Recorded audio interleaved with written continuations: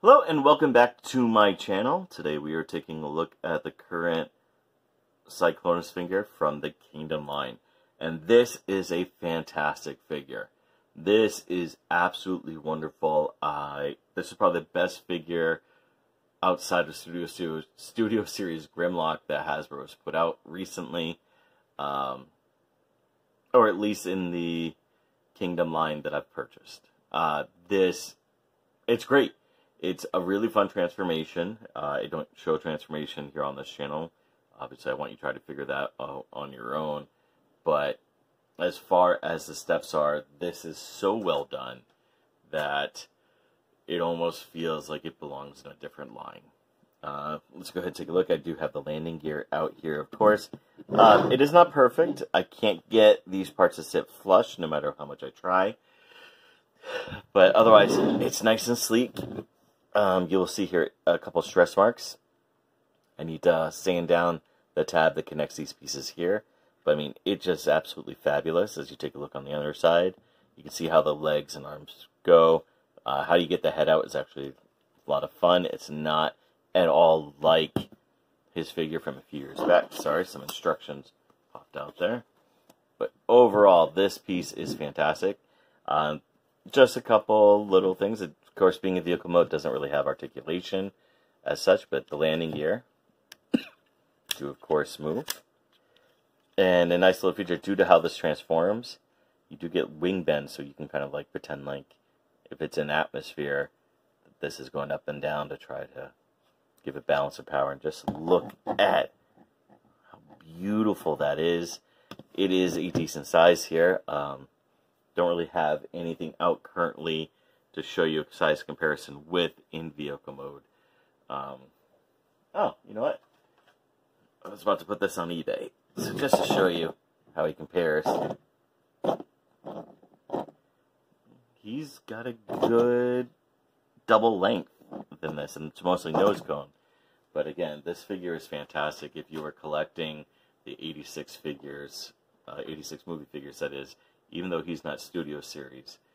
He really belongs in that line. Um, again, great figure.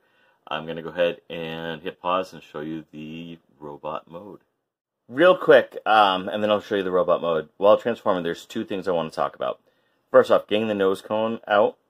I don't know if it's because I have no fingernails or what, but I got to usually get in there and really pry that out. It does sit tight, as you can see. The other thing I want to talk about, and I mentioned this in the robot review, um, I mean the vehicle review, you see the stress mark there. It's really starting to stress mark out there. So yeah, really, you're going to want to sand that part down. And here we have him in his robot mode. As you can see here, he does look quite nice. He does have that lovely purple uh, coloring that was the same in the flight mode and he does look tremendously well. I do like him a lot better than the Universe 2.0 or Generations figure from a couple years ago. He definitely has much more stature, much more poise, um, and he looks good. He doesn't look weird. You can't really see all the folding bits. Let's go ahead and bring him just a little bit closer. Uh, take a look here. Put the gun down. Now, as with vehicle mode, there was one issue I had um, this gun, as you can see, is there was a lot of extra gray paint, but as I've used him and transformed him, it's chipped off.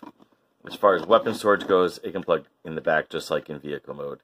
So nothing big. I'm just going to put that down to the side for now. Let's go ahead and just take a look at him otherwise. Uh, one cool thing, he's got light piping. Um, and it's really hard to show you just how beautiful this light piping is without going to take a look in the light. And as you can see, he even has like little pupils. He is fantastic. Putting that little bit of light back there just makes him just pop. As you saw my bookshelf there as I landed. And hopefully not too much of my disaster of a room at the moment. So let's just go ahead and we'll take a look at articulation. Now the head can go up, down, left, right. It can turn. It is on a ball joint. Arms. They can go out pretty far because it's got that cool little joint here. Elbow, you do get just over 90 degrees. Does not go back at all. You do get upper arm rotation. You get hand rotation. You have no idea how happy that makes me. That has been lacking in most Hasbro figures lately. Uh, let's see, you do get waist rotation. He can go all the way around. Leg can only go about that far. And it can only go about that far. You do get knee bend. Now with this, because of how this transforms, you can actually give him additional height too. Though it does look a little bit ridiculous and of course has some cool gaps. Uh, feet, you go forward about that far. And then you do get ankle tilt, which is restricted by the uh, pant legs. Other than that, I mean, this is a great figure. I do really dig this figure. This is probably one of the best figures I've seen Hasbro and Takara do in a long time, especially for the price point. And, oops, I guess I never fixed the ankle tilt when I was putting him stand back up. But as you can see, uh, he is just fantastic. And my only real gripe is I wish he was bigger because Cyclonus is supposed to be huge. But I'm still happy with it. This this figure looks good. It looks good with other characters next to it. He definitely is imposing, and the light piping really, really works considering that they detailed on pupils. So if you like evil glowing red eyes at you at night, he's definitely worth having. And just to show you his size, here he is with Thrilling 30 Whirl, who does not like standing. Come on, Whirl. Yeah. Just so you can have your last Lost Light crew back together. He is about a head taller than Whirl. But overall, this is a great figure. If you haven't picked it up, I highly recommend doing so, as this is absolutely wonderful, and it's going to look good with your 86 crew, whether you're going to collect that whole crew or not, between the two different lines right now. So, uh, again, thank you very much for watching. Uh, please comment down below. Tell me what you liked, what you didn't like, what you want to see. Please subscribe. And again, thank you very much for watching and have a great rest of your day.